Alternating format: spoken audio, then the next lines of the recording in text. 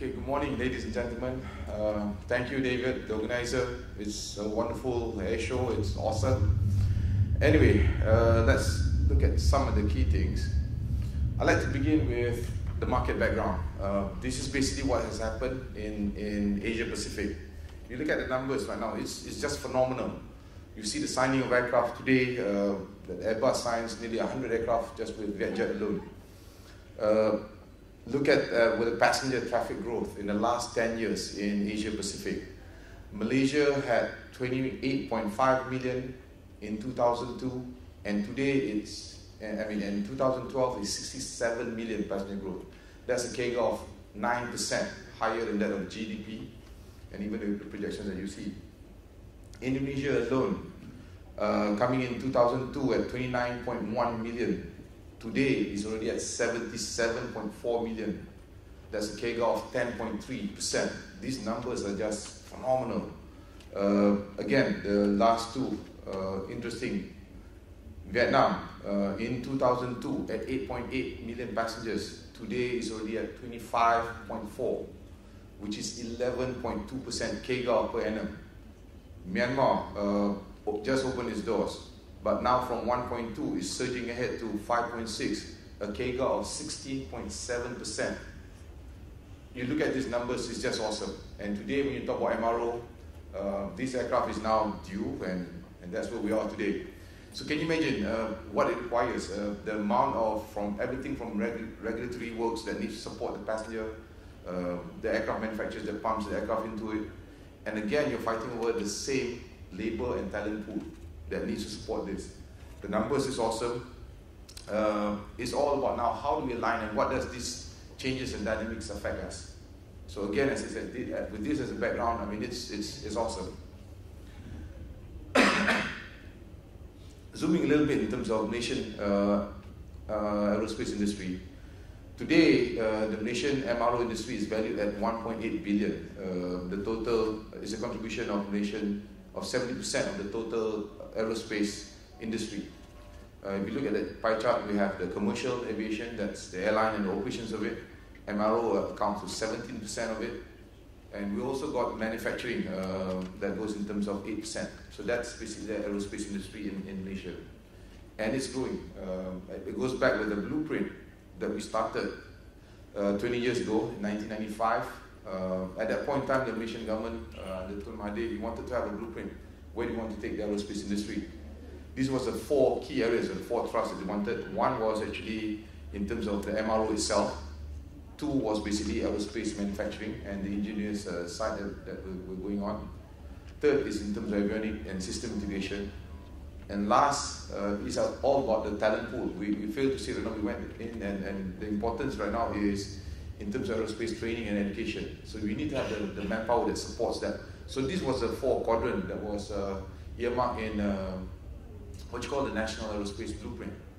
By that point in time, uh, the concept was very much we had a blueprint, so let's get everybody going along with this idea.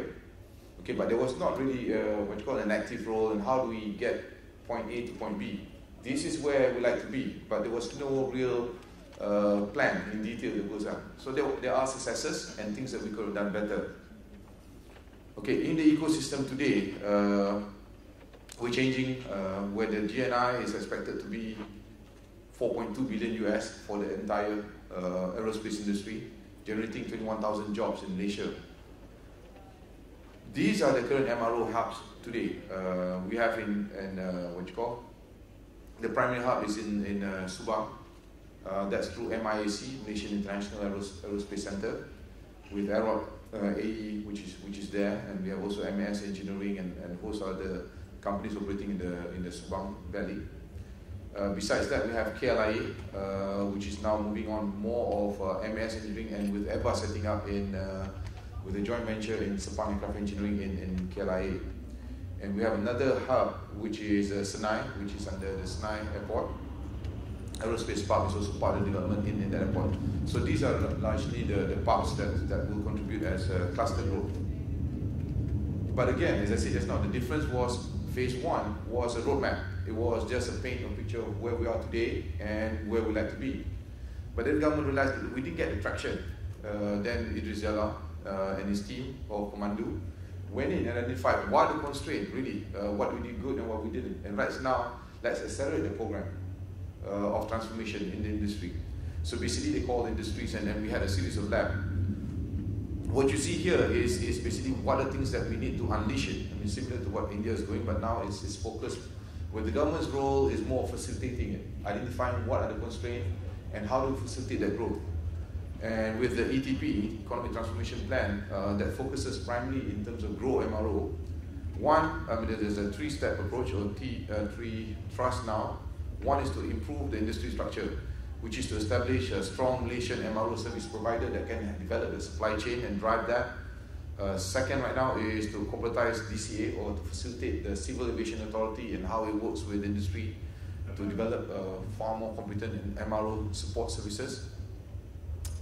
Expanding to high, higher and value-added services besides MRO. Now, you see as well as airline seats are becoming commodity, and so will the impact of MRO becoming a commodity, and we'll discuss that in terms of how the dynamics change.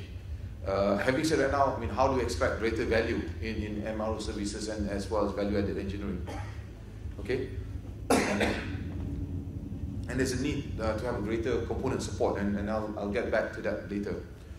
And uh, to, I mean, again, expanding the higher value added is enlarging MRO services to include rotable spares.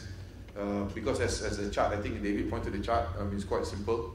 The airframe MRO is very much labor intensive with 70% and 20, sorry, 30% on, on, on material and components. Uh, the engine on the far end, which is all OEM dominated, because it is 70% uh, uh, accountable for material portion and 30% labor. So that's why it's far more leveraged by OEM. But the center ground actually is component. Component today is almost 50-50 between labor as well as component. The dynamics in, in, in, in, uh, in this region uh, as well as you have engine that's set up here. But mostly of the components are very limited as done here, but basically is outsourced back again to Europe or the US. This, uh, this is an opportunity because most of it will have power by the component at the front end, but at the back end, the main side is done, uh, is by sending back. So there's a whole style opportunity really in the component side to expand. Uh, because that's not so much in terms of there's, there's growth, but also the transition in terms of how we change the, the value add in, in the supply chain. Okay? So again, uh, having said that right now, the development of human capital is essential. It is not so much in terms of the competency to do work. It is also about uh, the quality culture and, and, and the passion in, in aviation. So that, that's something that, that we really need to underline in terms of the development trust to get to where we want. Okay. So we have Pemandu now facilitate, we have the industry that now is actually unleashing the potential to facilitate greater investment and greater growth. Uh, we have MIDA, uh, the Malaysian One Stop Center, uh, that will facilitate this. I mean, there's so many incentives that they have in terms of various parts. Uh, now I'd like to share a little bit in terms of what, what we see on the ground. Uh, as I said, now the past was the trend in terms of uh, what has happened, and I said the numbers is just phenomenal the question we have, uh, without painting the pictures, right now from getting point A to point B, how best do we strategize and line ourselves? Taking this a little bit, uh, we see in terms of the airline spread as well as the technology begins to change. Uh, new aircraft, the next generation aircraft comes in. There will be a wall by the time you see uh, the change between uh, NGs and uh, seven. I mean the A320 classics and the next generation. So you'll see that that transition in terms of new technologies and engines, which means uh, there will be a line that's drawn in terms of what the MRO spends and, and when the engines, uh, I mean, changes will, will, take place. Having said right now, uh, what powers the growth now you see is far more in terms of the A320s that comes in. Uh, but what basically what customers are looking for, as I said, now MRO is becoming a far more commodity. But what are the key things, constraint that the airline looking far more before cost actually is the liability in terms of uh, time uh, then only into competitive pricing. So these are the value add that the customer really looks for. Uh, flexibility in terms of payment terms, uh, as well as new airlines that start up. You see what powers up in the region is a new airline that starts up. So flexible payment terms, how can they help in the cash flow as they grow up? And uh, the thing right now is a ferry flight incentive. Uh, people are looking right now, uh, how do you do that to, to mitigate the distance?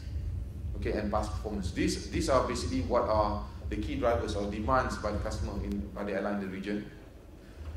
okay. And I think the discussion just now into what will happen in the near future, the dynamics the chart that David presented in terms of between uh, the OEM and, and the independent. Uh, so as I said right now, I mean, the airline also will, on this side, is also looking at the, the, the what you call, the dynamics or the different portfolio of the airlines. They are government backed and, and the way they look in terms of different national aspiration to have a one stop, to have a independent, I mean, to have a capability that's, that's indigenous. But there's a legacy carrier right now. Uh, the legacy carrier now has got to see this as a aviation business. So basically, an airline business is one. There is an MRO business is one. So that, that's what I see a transformation of the airline itself. The demand MRO comes in upfront in terms of what are the airline that fits into the system. Uh, legacy carriers has, is now going under transformation themselves that will focus on, on the aviation business, not just an airline itself. Okay, what else? You have the government-backed airline that wanted to have a whole entire smorgasbord of capability. But low-cost carrier, there's, there's, there's, there's uh, basically with the core business, focus on airline and outsource because it's all about controlling costs. Now, having said that, um, people will look in terms of the value. Uh, if I can control costs better, it's better for me to do in-house. If I do not, I don't have the capability to control costs, I will surely outsource it and go in competitive right now. So having said right now, what are the chances in terms of this? I mean, on the ground right now, uh, Boeing and Airbus is packaging a total value package and, and even airline affiliates are doing that packaging concern. But when you go back to airline, is that really what the airline want?